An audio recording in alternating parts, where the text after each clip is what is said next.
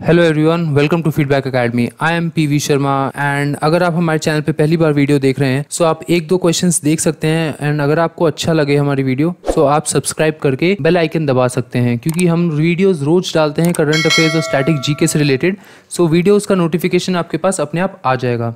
And अगर आपको अच्छी नहीं लगे वीडियो तो आप डिसलाइक करके वीडियो से बाहर जा सकते हैं। एज अ स्टूडेंट आपका टाइम बहुत इंपॉर्टेंट है।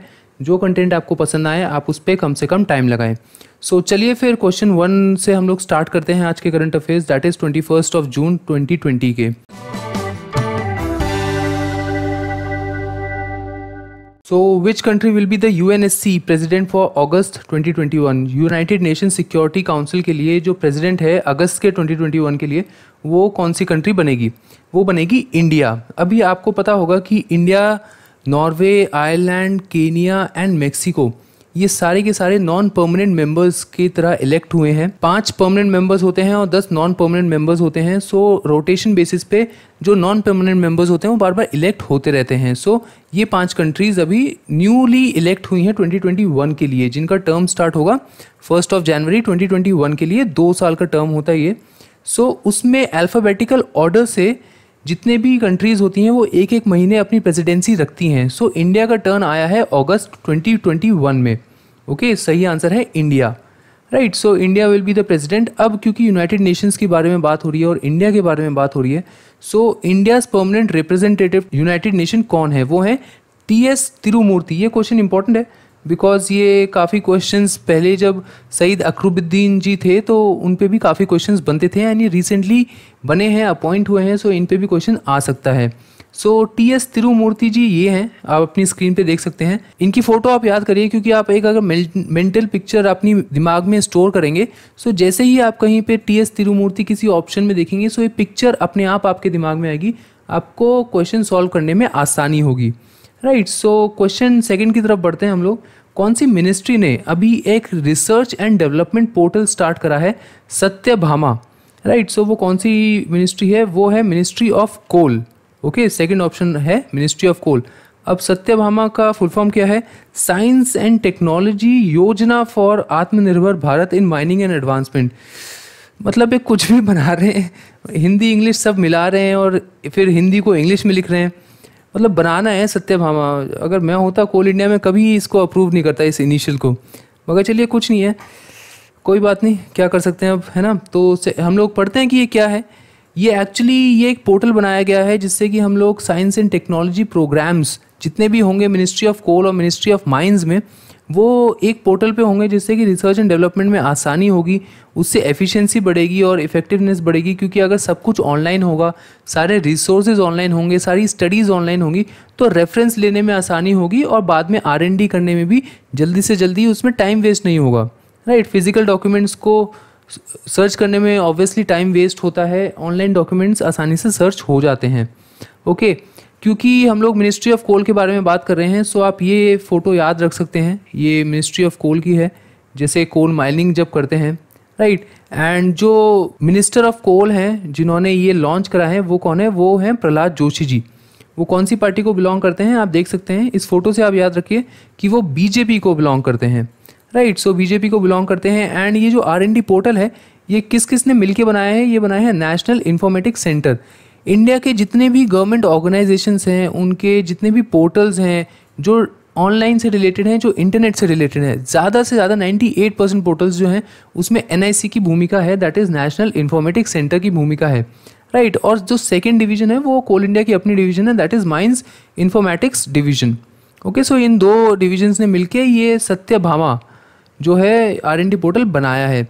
अब नेशनल इन्फॉर्मेटिक सेंटर के बारे में मैंने आपको बताया था इनके जो चेयरमैन या मैनेजिंग डायरेक्टर हैं इनके बारे में भी बताया था। सो so, आप मुझे उनका नाम कमेंट बॉक्स में लिख के बताइए। चाहे आप गूगल करिए चाहे हमारी पुरानी वीडियोस देखिए मगर नाम आप जब कमेंट बॉक्स में लिखेंगे ना सो so आपका भी इंटरेक्शन होगा। और जब आप कुछ कोई पर्टिकुलर नाम के साथ, कोई पर्टिकुलर इन्फॉर्मेशन के साथ सिर्फ़ सुनते ही नहीं, अपना इन्वॉल्वमेंट भी रखते हैं तो आपको वो चीज़ अच्छे से याद हो जाती है। मुझे पता है डेफिनेटली आपको, आप में से किसी को याद नहीं होगा कि एनआईसी के एमडी कौन है। तो आप गूगल सर्च करेंगे, फिर आप कमेंट बॉक्स में लिखेंगे तो इस प्रोसीजर से क्या होगा कि आपको वो अपने आप ही याद हो जाएगा। आपको ज़बरदस्ती अपने माइंड को फोर्स नहीं करना पड़ेगा कि ये पर्टिकुलर नेम याद करो। ओके सो कमेंट बॉक्स में लिखना ना भूलें। क्वेश्चन नंबर ये थोड़ा सा मिस्टेक हो गई ये क्वेश्चन नंबर थ्री है वो क्वेश्चन नंबर सेकंड था। Okay so question number third है which Indian company reaches 150 billion dollars market valuation mark company है रिलायंस इंडस्ट्रीज़ जो कि मुकेश अंबानी जी की कंपनी है जिनको आप देख सकते हैं अपनी स्क्रीन पे। Right so option three is the right one billion dollars होते हैं लगभग ग्यारह पॉइंट एक पाँच lakh crore. Okay okay, zero गिनते गिनते रह जाओगे मगर आपको समझ में नहीं आएगा कि कितने ज़ीरो हैं। ओके और इनके अलावा कोई हो भी नहीं सकता जो इंसान अपने बेटे को एम्प्लॉयमेंट देने के लिए पूरे देश को फ्री इंटरनेट बांट दे। सो so, उनके अलावा तो इतनी बड़ी फिगर की कंपनी को कोई चलाने वाला हो ही नहीं सकता। Okay so option three is the right answer वो पहली 150 बिलियन डॉलर्स की कंपनी बनी है in terms of market valuation okay question number fourth है कौन अपॉइंट हुए हैं अभी chairman of economic think tank N I P F P so N I P F P क्या है? National Institute of Public Finance and Policy ये इसका लोगो है। अपॉइंट कौन हुए हैं? वो हुए हैं उर्जित पटेल आपको बता दूँ कि उर्जित पटेल हो गए रघुराम राजन हो गए शशिकांत दास हो गए। ये तीनों हमारे गवर्नर रह चुके हैं और शशिकांत दास तो अभी भी प्रेजेंटली गवर्नर है आरबीआई के। That is Reserve Bank of India के गवर्नर रह चुके हैं वो। राइट right, अगर आप इस फ़ोटो में देखें so Urjit Patel right hand side पे हैं and Raghuram Rajan left hand side पे हैं। ओके सो ये दोनों गवर्नर रह चुके हैं हमारे आरबीआई के एंड अभिजीत बैनर्जी। ये एक इंडियन ओरिजिन के इकोनॉमिस्ट हैं जिनको नोबेल प्राइज़ मिला है अभी। रिसेंटली इनको नोबेल प्राइज़ मिला है। इनकी और इनकी वाइफ दोनों को नोबेल प्राइज़ मिला है। इनकी वाइफ का नाम है एस्थर ओके सो यहाँ पे वो बिल्कुल फिट होता है। जो प्रोवर्ब होता है कि every successful behind every successful man there is a woman but यहाँ पे थोड़ा उल्टा भी है। हम लोग वाइसा वर्सा भी बोल सकते हैं। बिकॉज़ इन दोनों को ही नोबल मिला है। इन्होंने जो रिसर्च करी थी इकोनॉमिक्स पे। ओके सो नेक्स्ट क्वेश्चन की बात करें सो वर्ल्ड रेफ्यूजी डे हम लोग कब सेलिब्रेट करते हैं? हम लोग सेलिब्रेट करते हैं ट्वेंटी जून को। और इसकी थीम क्या है? इसकी थीम है एवरी एक्शन काउंट्स बेसिकली जितने भी रेफ्यूजीज़ हैं, हमारा मकसद ये है कि ये बताना कि उनका कंट्रीब्यूशन भी देश की इकोनॉमी में सोशल इंफ्रास्ट्रक्चर में बहुत अहम होता है। उनका भी हर एक एक्शन काउंट होता है एक नेशन को फॉर्म करने में। Right right? रेफ्यूजी की डेफिनेशन क्या है? रेफ्यूजी की डेफिनेशन ये है कि वो कोई भी इंसान जो अपनी कंट्री से भाग के आया है या अपनी कंट्री छोड़ के आया है, इस डर से कि वो वहाँ पे उसका रीजन रिलीजन के बेसिस पे नेशनैलिटी के बेसिस पे, या फिर रेस के बेसिस पे उसका डिस्क्रिमिनेशन हो सकता है राइट या फिर एग्जीक्यूशन तक हो सकता है। सो so बेसिकली ये वर्ल्ड रेफ्यूजी डे को रिप्रेजेंट करता है। ये जो पोस्टर है, यहाँ से आप देख सकते हैं। कि जो रेफ्यूजीज़ हैं वो डिफरेंट डिफरेंट कंट्रीज़ ट्रैवल कर रहे हैं ओल्ड एज वाले भी कर रहे हैं न्यूली एज वाले भी कर रहे हैं बच्चे भी कर रहे हैं बिकॉज़ उनकी अपनी कंट्री में उनको इज़्ज़त नहीं मिलती है एंड एग्जीक्यूशन का डर होता है मतलब मारे जाने का डर होता है। राइट right, और इसको मनाता कौन है? इसको बनाता है यूनाइटेड नेशंस अब क्योंकि यूनाइटेड नेशंस के बारे में बात हुई है तो एक क्वेश्चन मैंने आपसे कल भी पूछा था एंड आज फिर से पूछ रहा हूँ कि यूनाइटेड नेशन के सेक्रेटरी जनरल का नाम क्या है? आप कमेंट बॉक्स में लिख के बताइए क्योंकि बहुत इंपॉर्टेंट क्वेश्चन है। एंड ये किसी ना किसी एग्ज़ाम में आएगा बिकॉज़ वो रिसेंटली भी चेंज हुए थे। ओके सो आप मुझे उनका नाम बताइए। नेक्स्ट क्वेश्चन की बात करें सो गांगुली, सौरव गांगुली और सुनील छेत्री। ये ब्रांड एम्बेसडर बने हैं अभी। कौन से ऑर्गेनाइजेशन के बने हैं? गांगुली की बात करें अगर हम, वो बने हैं जेएसडब्ल्यू सीमेंट प्लांट के। ओके सौरव गांगुली जी, अरे, ये तो गलत फ़ोटो आ गई। ये हैं, सौरव गांगुली जी, जो आप देख सकते हैं, इस फ़ोटो से आपको दो चीज़ें पता चलती है। एक, पहले की सौरव गांगुली कौन है? एंड दूसरे की वो board of control of cricket India के दैट इज़ बीसीसीआई के चेयरमैन भी हैं. सौरव गांगुली अभी presently right and Sunil Chhetri कौन है? सुनील छेत्री आप देख सकते हैं ये जो पीछे हैं ये सुनील छेत्री एंड ही सौरव गांगुली ये जे सीमेंट का पोस्टर है जो उन्होंने रिलीज़ करा था.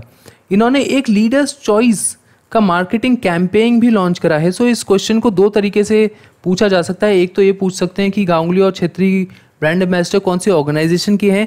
एंड ये भी पूछ सकते हैं कि लीडर्स चॉइस मार्केटिंग कैंपेन जो है वो कौन सी ऑर्गेनाइजेशन ने लॉन्च करा है? Right right? सो so, वो किसने करा है? वो करा है जेएसडब्ल्यू सीमेंट ने। राइट सो नेक्स्ट क्वेश्चन की बात करें so who is appointed as the next India's envoy to Zimbabwe अब इंडियाज एनवॉय नेक्स्ट एनवॉय देख के हाथ पैर मत फुला लेना।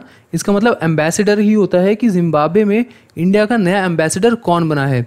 वो बने हैं आपके विनय खंदूजा जी। राइट विनय खंदूजा जी बने हैं। एंड जिम्बाब्वे की बात करें तो जिम्बाब्वे वर्ल्ड मैप में यहाँ पे आता है। आप देख सकते हैं it is an African nation और अगर थोड़ा और प्रिसाइज जाएँ तो यहाँ पे आप देख सकते हैं, ये जिम्बाब्वे है।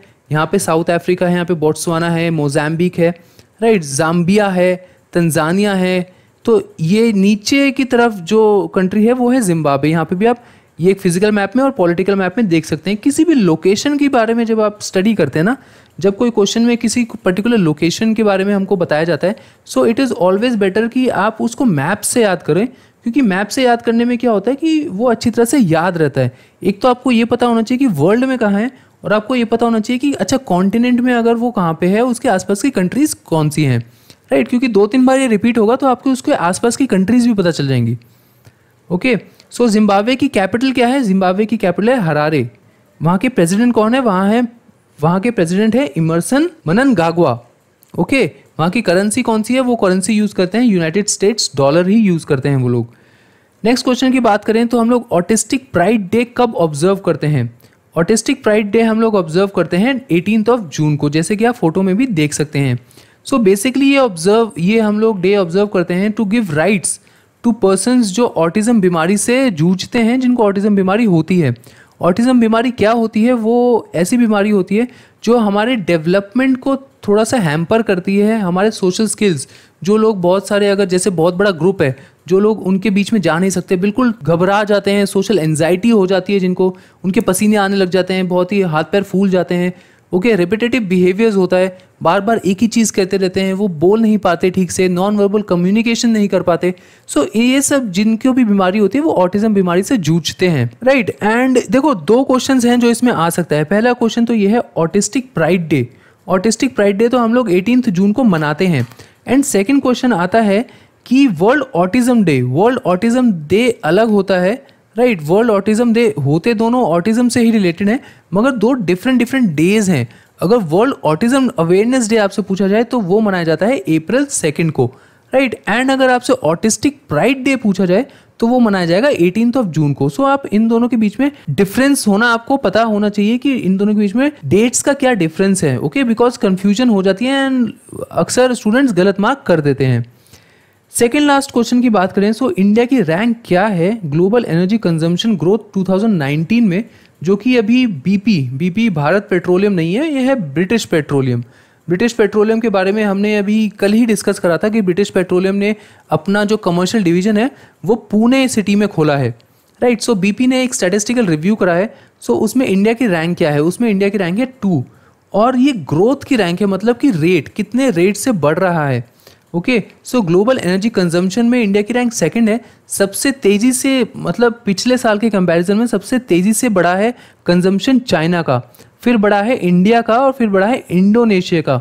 ये टोटल कंजम्पशन नहीं है, ये रेट ऑफ़ कंजम्पशन है. मतलब कितनी तेज़ी से वो बढ़ा है. ठीक है? इसीलिए इंडोनेशिया थर्ड पे आ चुकी है. अगर हम लोग बात करें कि सबसे ज़्यादा किसका गिरा है तो सबसे ज़्यादा गिरा है यूएस का और फिर है जर्मनी का. उन्होंने अपनी कंजम्पशन का जो ग्रेट है वो सबसे कम करा है राइट रादर वो डिक्लाइन हुआ है। ओके लास्ट क्वेश्चन की बात करें सो कौन से स्टेट ने सेलिब्रेट करा है अभी nineteen great June uprising day so वो सेलिब्रेट करा है मणिपुर की सरकार ने। आप देख सकते हैं मणिपुर, क्योंकि ये भी एक लोकेशन है तो हम लोग इसको मैप्स के थ्रू ही याद करेंगे। सो आप देख सकते हो नॉर्थ ईस्ट में जितने भी हमारी स्टेट्स है ना, उसमें बहुत कन्फ्यूज़न होता है। और बेसिकली ये तीन स्टेट्स में कन्फ्यूज़न होता है कि कौन सी स्टेट कहाँ पर है। राइट सो मणिपुर जो है, वो बीच में है। Okay okay? उसके ऊपर नागालैंड है एंड नीचे है मिजोरम। त्रिपुरा की पता है आपको, त्रिपुरा साइड में लटकता रहता है ये मेघालय बीच में फंसा होता है। और आसाम और अरुणाचल प्रदेश तो सबको पता ही होता है। Right so nineteen great uprising day हम लोग कब मनाते हैं? ये हम लोग मनाते हैं 18 जून को। Okay okay? मनाते हैं 18 जून को है। इसका उन्नीसवा इस एनिवर्सरी है मतलब 19 जैसे आप 19 साल के हो जाते हो ना, ये है नाइनटीन। और नाम क्या है? Great June uprising day okay और मनाते कब है? 18 जून को। राइट? सो so, यही क्वेश्चंस इंपॉर्टेंट थे जो आज के हमको करने थे एंड आप लोगों को कैसी लगी वीडियो हमें कमेंट बॉक्स में लिख के बताइए। प्लस हम लोग गवर्नमेंट रिक्रूटमेंट्स भी बताते हैं। जो जो नए नए रिक्रूटमेंट्स आए हैं like Bihar technical service commission में अभी फ़ूड सेफ्टी ऑफिसर की वैकेंसी निकली है जिसमें बीएससी जिन्होंने करा है वो अप्लाई कर सकते हैं।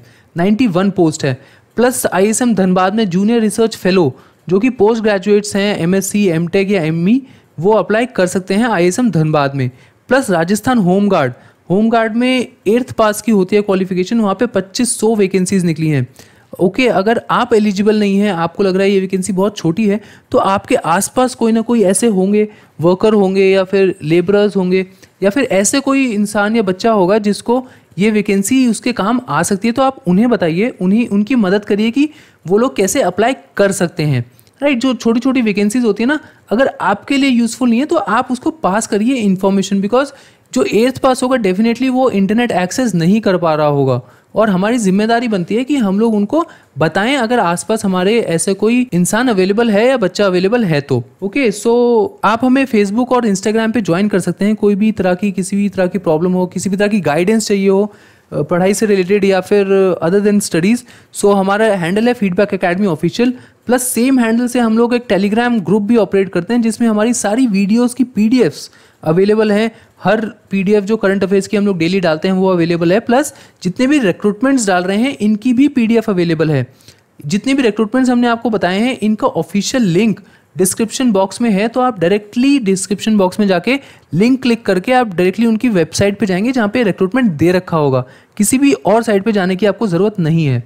सो so, चलिए फिर आज के लिए इतना ही है। हमारी शाम को एक रिवीजन वीडियो आएगी पाँच बजे। जिसमें हम लोग टेस्ट लेंगे। बेसिकली एक फ्री टेस्ट सीरीज़ टाइप है, जिसमें आप चेक कर सकते हैं कि आपने कितना याद करा है। Okay so thank you very much and we'll see you tomorrow stay safe and stay at home